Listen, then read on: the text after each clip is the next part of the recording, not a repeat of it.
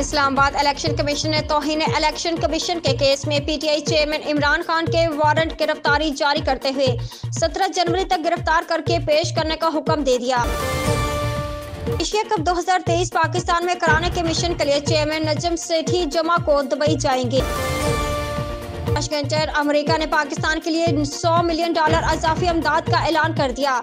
ऐलान करदा रकम खुराक तभी अमदाद, ज़रात और इंफ्रास्ट्रक्चर की तमीर के लिए इस्तेमाल होगी। जिनेवा, वज़ीर खारजा वज़ीर खारजा बिलावल भुट्टो का कहना है कि पाकिस्तान का बेशर हिस्सा ताहाल सैलाब में डूबा हुआ है।